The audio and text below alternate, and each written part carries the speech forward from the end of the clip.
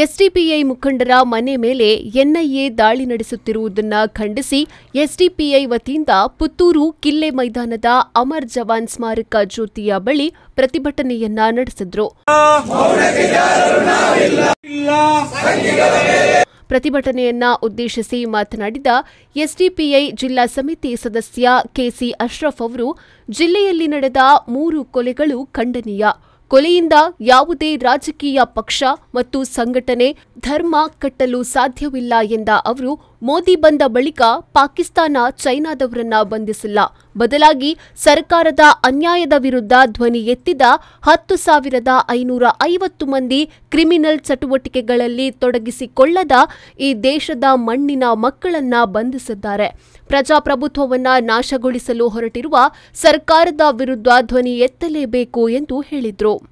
ಯಾರೆಲ್ಲ R S ಎಸ್ನ ನ ಫ್ಯಾಸಿಸ್ಟ್ನ ಧೋರಣೆಯನ್ನ ಖಂಡಿಸ್ತಾರೆ, ಅದನ್ನು ಪ್ರತಿಭಟಿಸ್ತಾರೆ, ಅವರ ಮೇಲೆ ಇಂತಹ ದಾಳಿಗಳು ಇವತ್ತಿನ ದಿನಗಳಲ್ಲಿ ಸರ್ವೇಸಾಮಾನ್ಯ. ಬಿಜೆಪಿಯನ್ನು ವಿರೋಧಿಸುವಂತಹ ಎಲ್ಲ ರಾಜಕೀಯ ಪಕ್ಷಗಳ ಮೇಲೂ ಎನ್ಐಎ ದಾಳಿಯಾಗಿದೆ, ಇಡಿ ದಾಳಿಗಳಾಗಿದೆ, ಬಹುತೇಕವಾಗಿ ಆಗಿದೆ. ಸೋನಿಯಾ ಗಾಂಧಿಯ ಮೇಲೂ ಇಡಿ ದಾಳಿಯನ್ನ ಮಾಡಿದ್ದನ್ನು ನಾವು ಕಂಡಿದ್ದೇವೆ. ರಾಹುಲ್ ಗಾಂಧಿಗೂ ಸಮನ್ಸ್ ಕೊಟ್ಟಿದ್ದನ್ನು ಕಂಡಿದ್ದೇವೆ. ಡಿ ಕೆ ಶಿವಕುಮಾರ್ ಐವತ್ತು ದಿನ ಪರಪ್ಪನ ಅಗ್ರಹ ಅಗ್ರಹಾರ ಜೈಲಿನಲ್ಲಿ ಕೂತ್ಕೊಂಡು ಬಂದಿದ್ದನ್ನು ನೋಡಿದ್ದೇವೆ. ತನಿಖಾ ಸಂಸ್ಥೆಗಳನ್ನ ಉಪಯೋಗಿಸಿಕೊಂಡು ವಿವಿಧ ರಾಜಕೀಯ ಪಕ್ಷಗಳ ನಾಯಕರುಗಳನ್ನ ಈ ಸರ್ಕಾರ ಮಟ್ಟ ಹಾಕುವಂತ ಪ್ರಯತ್ನ ಮಾಡ್ತಾ ಇದೆ. ಬಹುಶಃ ಈ ಮೂಲಕ ಒಂದು ರೀತಿಯಲ್ಲಿ ವಿರೋಧ ಪಕ್ಷ ಮುಕ್ತ ಭಾರತದ ನಿರ್ಮಾಣಕ್ಕೆ ಈ ಬಿಜೆಪಿ ಮತ್ತು ಆರ್ ಎಸ್ ಎಸ್ ಪ್ರಯತ್ನಿಸುತ್ತಿರುವುದನ್ನು ಕಾಣಬಹುದು. ರಾಂಗ್ ನಂಬರ್ ಇವತ್ತು ಮೊನ್ನೆ ತಾನೇ ಅವರು ಬಂದಿದ್ದು ಬೇರೆ ದಾರಿ. ಇಲ್ಲಿ ಏನು ನಿಮ್ಮ ಎನ್ಐಎಗೆ ನಿಮ್ಮ ಇಡಿ ದಾಳಿಗಳಿಗೆ ಹೆದರುವಂತಹ ವಂಶಸ್ಥರು ಯಾರು ಇಲ್ಲಿಲ್ಲ. ಹೆದರುವಂತ ಅವಶ್ಯಕತೆಯೂ ನಮಗಿಲ್ಲ. ಯಾಕಂದ್ರೆ ನಾವ್ಯಾರು ಕಾನೂನು ವಿರೋಧಿಗಳಲ್ಲ, ಪ್ರಜಾಪ್ರಭುತ್ವದ ವಿರೋಧಿಗಳಲ್ಲ. ಈ ದೇಶವನ್ನು ಪ್ರಜಾಪ್ರಭುತ್ವ ರೀತಿಯಲ್ಲಿ, ಸಂವಿಧಾನಾತ್ಮಕ ರೀತಿಯಲ್ಲಿ ಉಳಿಸ್ಕೊಳ್ಳಬೇಕು ಅಂತ ಹೋರಾಟ ಮಾಡ್ತಿರುವಂತಹ ಪಕ್ಷದ ಪ್ರತಿನಿಧಿಗಳು ನಾವು. ಈ ಎನ್ಐಎನ್ನ ದುರ್ಬಳಕೆ ಮಾಡಿಕೊಂಡು ಈ ದೇಶದಲ್ಲಿ ಬೇಕಾದಷ್ಟು ರೀತಿಯ ಕಿರುಕುಳವನ್ನು ಕೊಡ್ತಾ ಹಲವು ಜನರುಗಳನ್ನು ಜೈಲಿನಲ್ಲಿಟ್ಟಿರೋದನ್ನು ನಾವು ಕಂಡಿದ್ದೇವೆ.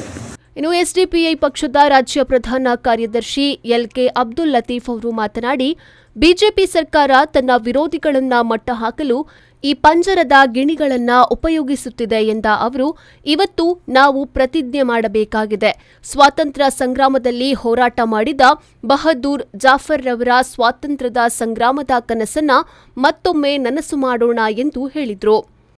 ಸೋಷಿಯಲ್ ಡೆಮಾಕ್ರೆಟಿಕ್ ಪಾರ್ಟಿ ಆಫ್ ಇಂಡಿಯಾದ ರಾಷ್ಟ್ರೀಯ ಕಾರ್ಯದರ್ಶಿಯಾದಂತಹ ರಿಯಾಜ್ ಪರಂಗಿಪೇಟೆಯವರ ಮನೆಗೆ ನಡೆದಂತಹ ಎನ್ಐಎ ದಾಳಿಯನ್ನು ಖಂಡಿಸಿ ಆಗಿರುತ್ತದೆ ದೇಶದಾದ್ಯಂತ social democratic party of India ಪ್ರತಿಭಟನೆ ಮಾಡ್ತಾ ಇರೋದು. ಅದರ ಭಾಗವಾಗಿ ಇವತ್ತು ಪುತ್ತೂರಲ್ಲಿ ನಾವು ಮಾಡ್ತಾ ಇದ್ದೇವೆ.